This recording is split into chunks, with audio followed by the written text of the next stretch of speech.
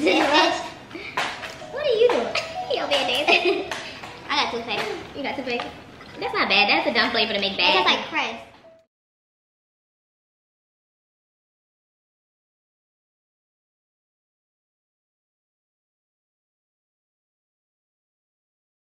yeah. Mm-hmm. Oh. Go like, look, baby six is doing so good. Just a player, and normally he's the problem. Still poison. Oh, he smashed it on the thing? Okay. Is it white? Let me see. No, no, no. Um, it's the second one right here. So this one, this one, this one. Pick the one you don't. How you get dirty dishwasher? you see? You see? It tastes like it. Not bad. What did I be putting in it? I don't know. It's disgusting. It is so horrible. I needed that toothpaste. banana, strawberry banana smoothie or dead fish. I'm not trying to eat a dead fish. Know. Oh my god. Mm, I needed that one. That strawberry banana smoothie is good. Mm. Chocolate pudding or dog food? Dog food. Yep. We got That ain't the dog food.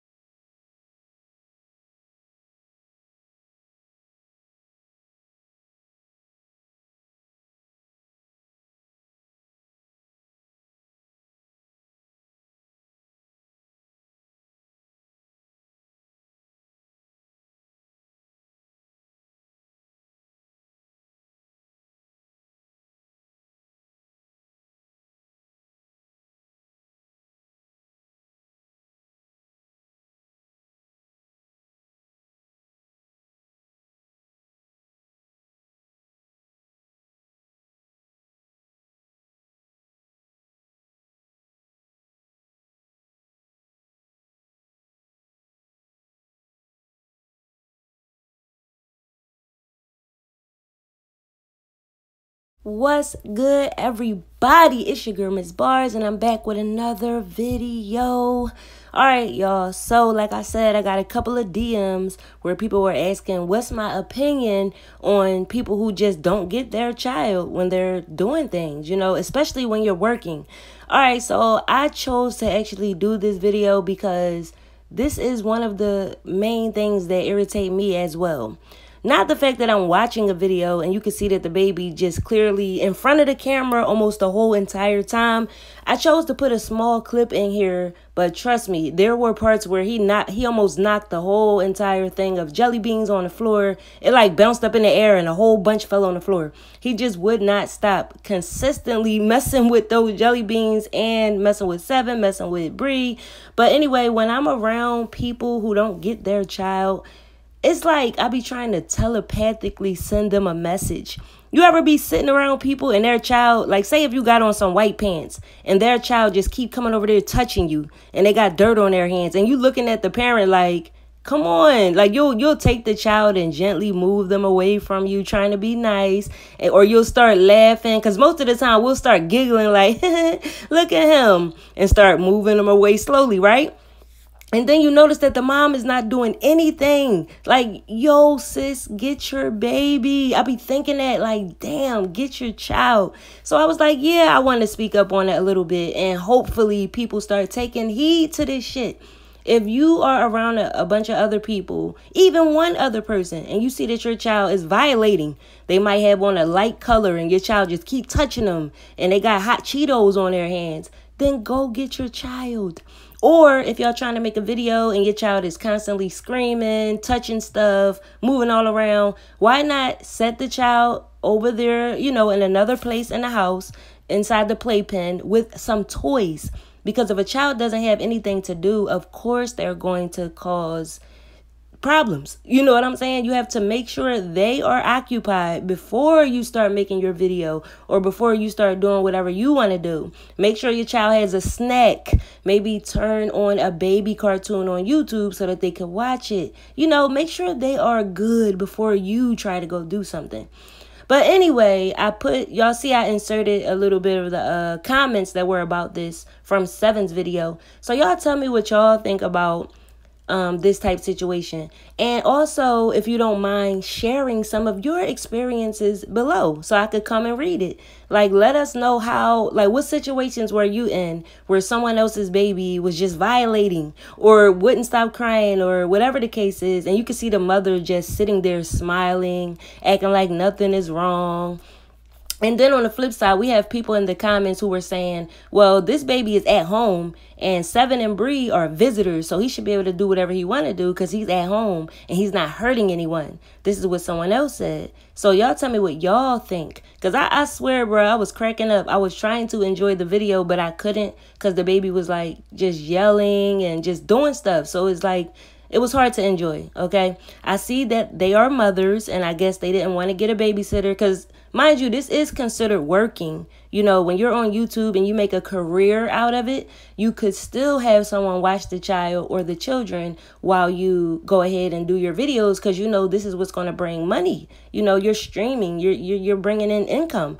So again go ahead and comment below and also leave your um you know your experiences i know this shit is gonna be funny yo i remember one time now this was a long time ago we was taking septa right and this baby was just walking around touching everybody and the first thing i thought about was germs all the damn germs that this baby is picking up by touching everybody and then rubbing her hand back and forth along the seats where you sit down at. So first of all, she could have fell while the train was moving. She could have fell. And secondly, she gave her a bag of potato chips and she started eating it and sucking on her fingers. And I said, see, this is exactly why babies get sick so easy. You know, it's a, it's a lot of reasons you need to get your child, sis.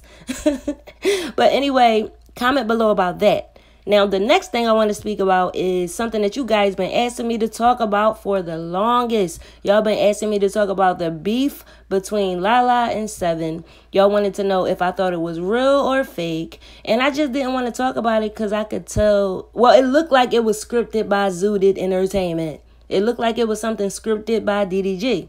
So what I'm gonna do right now and I'm going to insert this clip of Seven and Lala, which is all the way at the end of the beef where they were sitting in the car talking about what happened and they straight up said that DDG was um instigating trying to get them to fight. Matter of fact, let me tell y'all.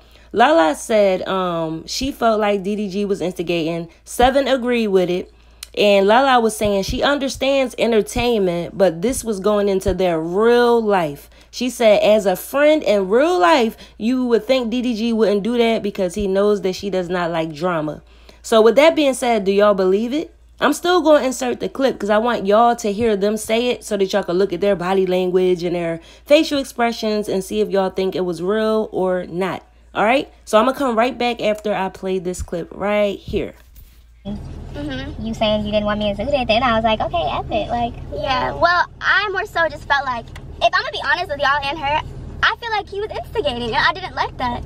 I could see where you're saying that because yeah. even like when we were out, he just like kept asking me about you, and I'm like, why do we gotta Yeah, me too. And I know it's like, okay, y'all, let's be real. It's entertainment. You know, he knows what y'all want to see. But I just felt like as a friendship in real life, if you know I'm not really trying to be in drama, and it's like.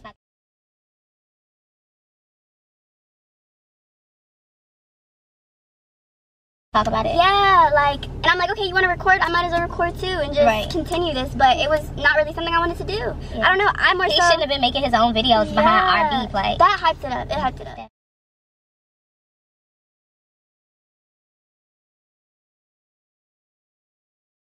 And it was like never conversations about what was going to be done. Everyone just did it. So I think we were all just playing off of each other. Right. Um, but y'all saw I told him in the last video, like I felt like he was kind of being funny and instigating.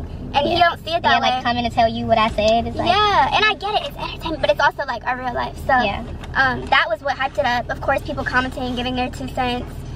Um, I do understand like what you're saying now, but that's how I think it initially escalated. No, I see how it looks petty too. It was yeah. kind of petty. I just, you know, mm -hmm. I mm -hmm. thought it could be all fun and games, and it turned into. Yeah.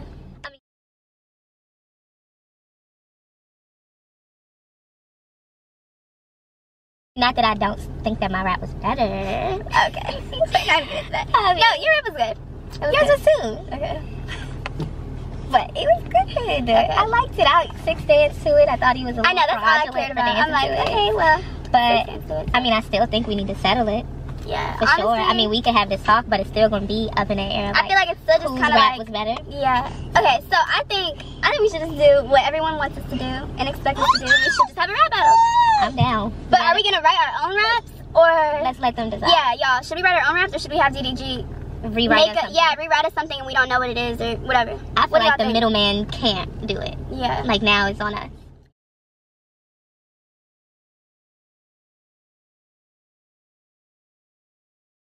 Okay, guys, I am back. So, what do you think about the situation? See, it can be pretty confusing, you know, because entertainment, it can be sometimes you believe them, sometimes you don't. But when Lala said, like, as a friendship, as in real life, you know, I don't like drama and, and it's spilling over into our real life, it made me think, well, damn.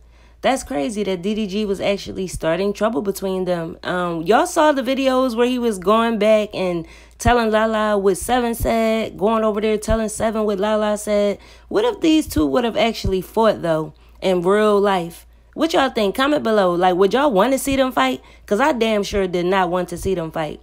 I was actually happy when um, Seven said that they were better together making videos instead of having beef with each other. Nobody wants to see that. You know what I'm saying? I actually enjoy them actually making videos together. But y'all comment below and let me know what y'all think. And last but not least, I want to leave a clip of Seven and her baby in the car. I want you guys to hear what Seven was saying. And I'm hoping that it reaches some of these young girls. She's going to let you know a little bit about motherhood as far as her experiences so far. You know, babies, sometimes sometimes you just might get a baby that cries all the time. So for all these young girls who be talking about they have baby fever and I can't wait to have a baby and I want to have twins, all the shit that y'all be talking. Listen, everything is not about taking pictures for Instagram and looking cute all the time. It's just not like that. So I'm going to put this small clip in here before I go and hopefully it reaches you guys to see that it's not always beautiful. It's not always peaceful. It's not always calm. It's not always cute. Okay? All right, y'all. So I will see you guys in the comments. Let's get it. Hey, um. who you want now? You are not having a good day, and mommy does not like it. You keep thinking that everybody coming out the door is her. Uh, yeah. Kids are hard, guys. Don't have kids until you're like 30. Now I know why they say you wait till you 30 because it just makes sense to wait till you 30. Your patience is different.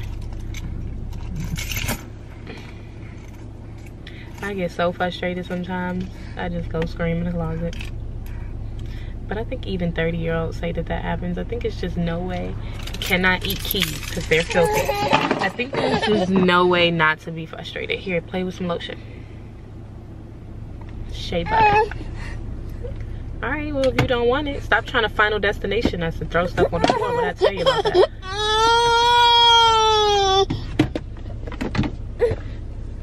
They see you throwing a fit. They see you. Oh, they see you throwing a fit. Oh, baby six. Him so bad. Him is so, so bad. It's so bad. It's so bad. It's so bad. It's so bad. Y'all, he's so freaking bad. Stop. Give him a kiss. Say, um,